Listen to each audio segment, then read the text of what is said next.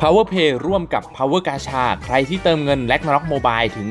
3,500 บาทในรอบแต่ละเดือน สามารถรับไปเลย s t a n d y l a g n a r o k Mobile น่ารักน่ารักนะครับผมตอนนี้มีให้สะสมถึง4รายด้วยกันนะครับส่วนใครที่อยากจะเติมเงินเกมอื่นๆ ก็สามารถที่จะกดไปตามลิงก์ด้านล่างนี้ หรือจะสแกน QR Code ตรงหน้าคลิปเลยก็ได้นะครับผม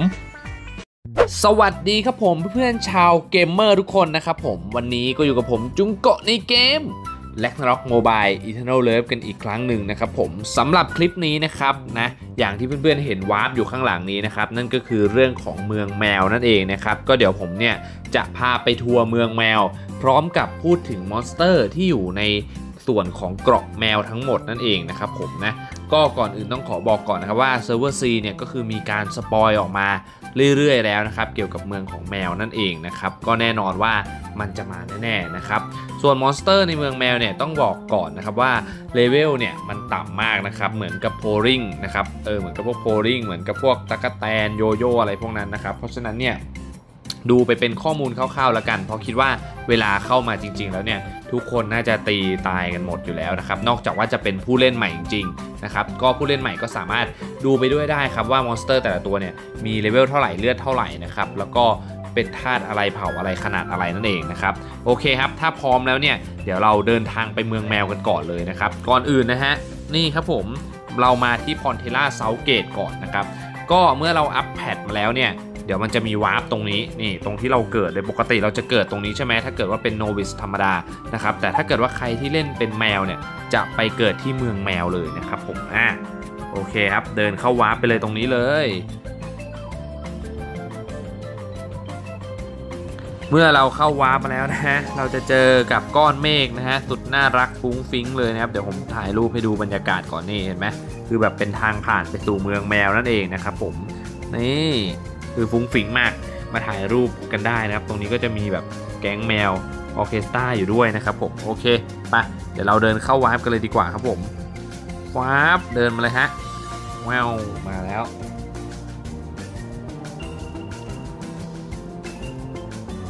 และแล้วเราก็ถึงเมืองแมวแล้วนะครับผมนะ มันก็จะมาเกิดตรงนี้เลยนะครับ หน้าตาของ map ก็จะกว้างๆแบบนี้เลยนะฮะ เนี่ยครับ อันนี้ก็จะเป็นเมืองแมวเนาะ NPC ทุกตัวแหละจะเป็นแมวหมดนะครับ เออ แต่ก็จะมีพวกสเตฟานี่มั้งที่เป็นคนอยู่นะครับผมเดี๋ยวกด card boot ไปทีนึงนะครับ นี่ ถ่ายรูปให้ดูด้วย เนี่ยฮะ เมืองมันก็จะน่ารักฟุ้งฟิ้งแบบนี้นะฮะ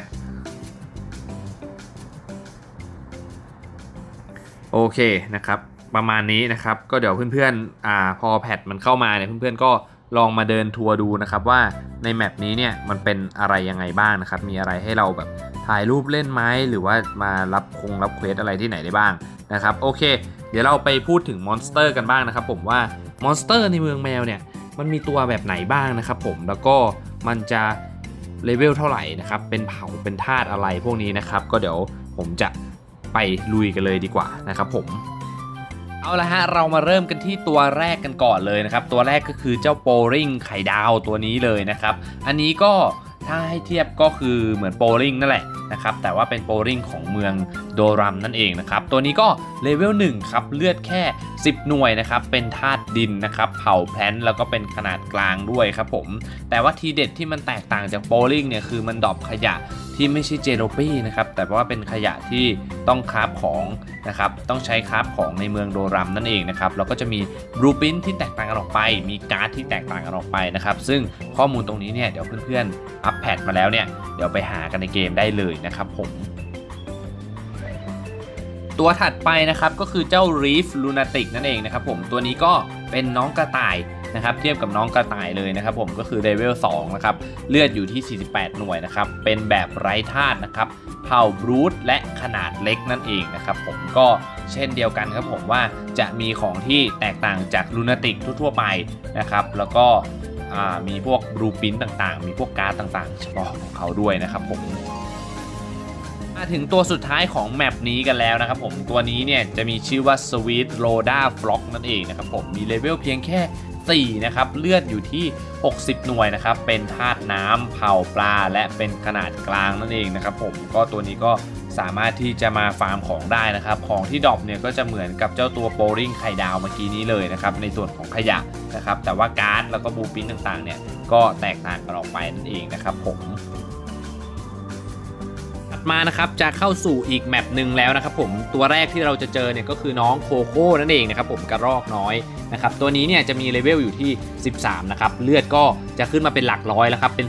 450 นะครับธาตุดินนะครับเผ่า Brute แล้วก็ขนาดเล็กนั่นเองนะครับผมตัวนี้ก็มีของที่ drop แตกต่างกันออกไปนะครับ มีพวกไอ้ลูกศรอะไรเนี่ยที่เอาไว้ craft ของได้นะครับ มีบูปินแล้วก็มีการ์ดของ Coco ด้วยนะครับที่ drop นะ อันนี้เพื่อนๆก็สามารถมาฟาร์มได้เพื่อที่จะเอาของเนี่ยไป craft ของเผ่า Doram นั่นเองนะครับผม มอนสเตอร์ตัวถัดมานะครับผมก็คือเจ้าตัว Leaf Cat นั่นเองนะครับแมวตา 2 สีนะครับตัวนี้ก็จะมีเลเวล 18 นะครับ HP 500 นะครับ เป็นธาตุดินเผ่า Brute และเป็นขนาดเล็กด้วยนะครับ อันนี้ก็มีขยะใหม่ๆ drop ขึ้นมาอีกแล้วนะครับ แล้วก็จะมีแว่นตาที่เป็น blueprint ด้วยนะครับอ้าวเดินไปไหนแล้วล่ะลูกนะตัวนี้มันก็จะชอบเดินนะครับผมก็สามารถมาฟาร์มได้นะครับผม ถัดไปนะครับผมก็จะเป็นเจ้าตัว Wild Hornet นี่ครับผมตัวนี้เนี่ยจะมีเลเวลอยู่ที่ 21 นะครับ เลือด 600 หน่วยนะครับ เป็นธาตุลมเผ่า Insect นะครับเผ่าแมลงนั่นเองนะครับแล้วก็เป็นขนาดเล็กนั่นเองนะครับอันนี้เพื่อนๆก็สามารถมาฟาร์มได้นะ เพราะว่าเลือดมันไม่ค่อยเยอะเท่าไหร่นะครับแล้วก็มีมอนสเตอร์มีขยะใหม่ๆ มี blueprint ใหม่ๆ ตกด้วยนั่นเองนะครับผม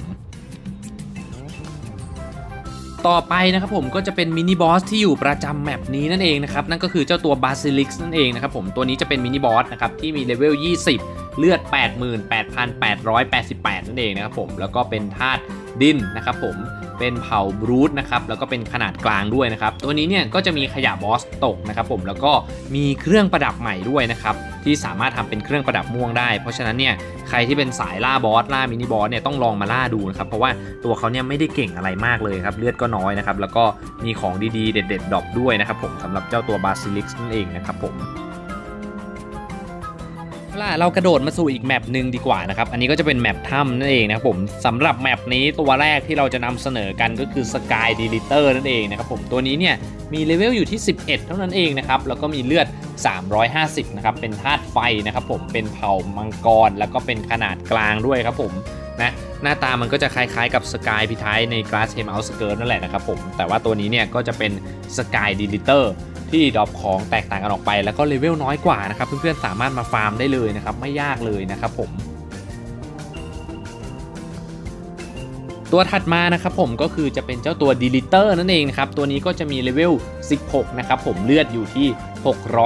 625 นะครับ เป็นธาตุไฟเช่นเดียวกับตัวเมื่อกี้ แล้วก็เป็นเผ่ามังกร แล้วก็เป็นขนาดกลางนะครับผมเหมือนกับตัวเมื่อกี้เป๊ะเลยแค่ เก่งขึ้นมานิดนึง เลือดขึ้นมานิดนึงนะครับผมแต่ว่าของที่ drop เนี่ยก็จะแตกต่างกันออกไปนะครับมีการ์ดเฉพาะมี blueprint เฉพาะด้วยนะครับผม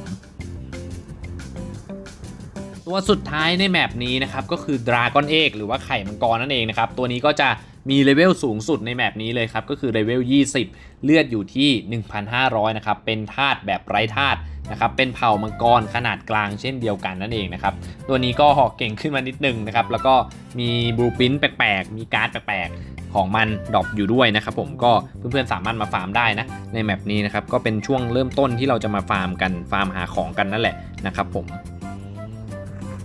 เอาละครับผมเข้าสู่เกาะเต่าแล้วนะครับผมตอนนี้นะครับมาเจอกับตัวแรกเลยนะครับ นั่นก็คือ Sea Otter นั่นเองนะครับผมตัวนี้เนี่ยมีเลเวล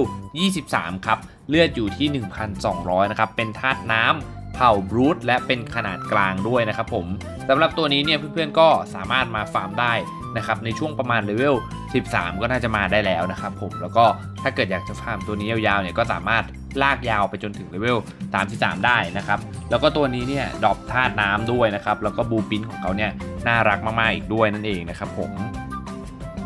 ต่อไปเนี่ยจะเป็นเจ้าตัว Cornutus นั่นเองนะครับผมสำหรับตัวนี้นะครับจะมีเลเวลอยู่ที่ 25 นะครับ เลือดอยู่ที่ 1,830 เป็นธาตุน้ำเผ่าปลา และเป็นขนาดเล็กนั่นเองนะครับผม ตัวนี้เพื่อนๆก็สามารถมาฟาร์ม คู่กับเจ้า Sea Otter เมื่อกี้ได้เลย เพราะว่าขยะที่ drop เนี่ยมันจะแตกต่างกันนะครับแล้วก็จะมีบูปินมีการ์ดพิเศษของเขาด้วยนะครับผมเดินทางมาถึงมอนสเตอร์ตัวปกตินะครับที่เป็นตัวสุดท้ายแล้วนะครับนั่นก็คือ Permeter หรือว่าเจ้าเต่านั่นเองนะครับผมสำหรับเจ้าเต่าตัวนี้เนี่ยจะมีเลเวลอยู่ที่ 28 นั่นเองนะครับมี HP อยู่ที่ 2,240 เป็นธาตุแบบไร้ธาตุนะครับเผ่า Brute แล้วก็เป็นขนาดกลางด้วยนะครับ ตัวนี้ก็สามารถที่จะมาฟาร์มได้นะครับ อันนี้จะเป็นมอนสเตอร์ที่เลเวลเยอะที่สุดแหละที่เพื่อนๆจะได้ฟาร์มกันนะครับ เพราะฉะนั้นเนี่ยผมบอกว่าเออถ้าเกิดว่าเราอยากได้ขยะแบบเนี้ยคือช่วงระยะเวลาในการฟาร์มเนี่ยมันค่อนข้างที่จะน้อยนะครับ เพราะฉะนั้นเพื่อนๆก็ลองตัดสินใจกันดูดีๆแล้วกันนะครับผมเดินทางมาถึงตัวสุดท้ายนะครับ นั่นก็คือบอส MVP ของแมปนี้นั่นเองนะครับ นั่นก็คือ Lady ตานีนะครับหรือว่าเจ้าตานีนั่นเองนะครับสำหรับ MVP ตัวนี้เนี่ยมีเลเวลอยู่ที่ 30 นะครับ เป็นบอสในกระดานด้วยนะครับ เลือด 8 0 0แสนนะครับ ก็นะที่คิดว่าทุกคนที่ล่าบอสอยู่แล้วน่าจะวันฮิตได้หมดนะครับ เลือด 8 0 0แสนนะครับ เป็นธาตุลมนะครับ เผาแพลนและก็เป็นขนาดใหญ่ด้วยนะครับ เพราะฉะนั้นเนี่ยก็ใส่วัวมาตีได้เลยนะครับสำหรับตัวนี้ก็มีพวกไม้คาทาแมวนะครับตกอยู่นะครับ ราคาที่จีนก็ 2 5 0 0 0นะครับน่าจะขายไม่ออกนะครับแล้วก็มีพวกขยะบอสนะครับอ่าอันนี้ก็จะราคาถูกหน่อยนะครับแล้วก็มีพวกนี่ฮะเออ2,500นะครับแล้วก็มีพวกอ่าที่ขยะที่เหมือนกับdrop กับพวกโบลิ่งไข่อะไรพวกนี้นะครับผมแล้วก็ blueprint banana boat นะครับผมอันนี้ราคาค่อนข้างดีเลยครับ8ล้าน2นั่นเองนะครับเพื่อนๆก็สามารถที่จะมาล่ากันได้นะครับ เพราะว่าล่าไม่ยากนะเลือดของเขาเนี่ยไม่ไม่เยอะมากอารมณ์เหมือนล่าแมงทองเลยนะครับผมโอเค เป็นยังไงกันบ้างครับเพื่อนๆสำหรับมอนสเตอร์ใน map ของ Doram นั่นเองนะครับก็ต้องบอกก่อนเลยนะครับว่ามอนสเตอร์ใน map Doram เนี่ยช่วงระยะเลเวลเนี่ยมันถึงแค่เลเวล28 เท่านั้นเองนะครับเพราะฉะนั้นเนี่ยเพื่อนๆใครที่ เป็นขาประจำเล่นอยู่แล้วนะครับผมก็ต้องบอกเลยว่ามาฟาร์มได้แบบสบายมากนะครับตี one hit น่าจะได้ทุกตัวเลยนะครับผมแล้วก็รวมถึงบอสด้วยนะครับบอสก็ไม่ได้โหดอะไรมากนั่นเองนะครับก็เป็นอีกหนึ่ง map ที่เพื่อนๆสามารถมาหาวัตถุดิบนะครับผมแล้วก็ทำของน้องแมวได้นั่นเองนะครับก็ถือว่าแปลกใหม่ดีนะ เพราะว่าปกติเวลาอัพ patch เนี่ยมันจะมีแต่ monster ที่ level สูงขึ้น level สูงขึ้นมีแต่ boss ที่เก่งขึ้นเก่งขึ้นนะครับแต่อันนี้เนี่ยก็อัพ patch มามี monster หลากหลายให้ผู้เล่นได้เลือกฟาร์มในช่วงต้นเกมได้มากขึ้นนั่นเองนะครับไม่ได้เจอแต่แบบเดิมๆอะไรอย่างนี้เนาะเพื่อนๆก็เวลาปั้นตัวใหม่มาก็อาจจะมาฟาร์มแบบนี้อะไรก็ได้เช่นเดียวกันนะครับผมเออนะโอเคฮะก็สำหรับคลิปนี้ก็คร่าวๆประมาณนี้แล้วกันนะครับช่วงนี้ก็จะทยอยทำคลิป EP 7 ออกมาเรื่อยๆแล้วกันนะครับถ้าเพื่อนๆชอบเนี่ยก็อย่าลืมกดไลค์นะกด Subscribe เป็นกำลังใจให้ผมในการทำคลิปต่อๆไปด้วยนะครับผม ถ้าเกิดเห็นว่าเป็นประโยชน์ก็อย่าลืมกดกระดิ่งด้วยจะได้ไม่พลาดคลิปใหม่ๆจากช anel ของจุงโกะนั่นเองนะครับผมส่วนใครไม่ชอบคลิปนี้จริงๆ สามารถที่จะกด dislike ได้เช่นเดียวกันนะครับแต่คอมเมนต์บอกกันสักนิดนึงนะว่าทำไมถึงไม่ชอบคลิปนี้นะครับเพื่อที่ผมจะได้นำไปปรับปรุงและพัฒนาในคลิปต่อๆไปนั่นเองนะครับผมสำหรับคลิปนี้เนี่ยต้องขอตัวลาไปก่อนนะครับไว้พบกันใหม่คลิปหน้าครับบ๊ายบายสวัสดีครับ